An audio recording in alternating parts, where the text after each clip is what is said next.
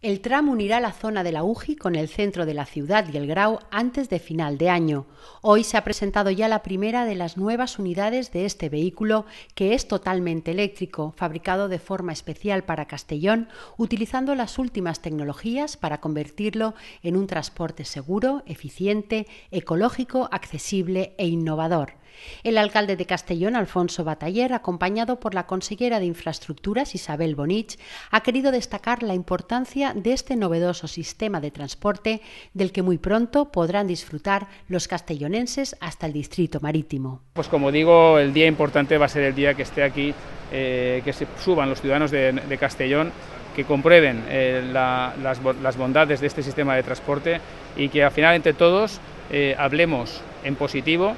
de un sistema de transporte que, como vuelvo a decir, va a ser una referencia y que va a poner un punto y aparte a muchas de las críticas que se ha visto sometido. Yo estoy convencido de que será una referencia y que, como digo, transportará a esos cuatro millones de ciudadanos que ya transportado con el antiguo sistema, pero ahora con este vehículo nuevo y moderno, pues espero que transporte a la máxima eh,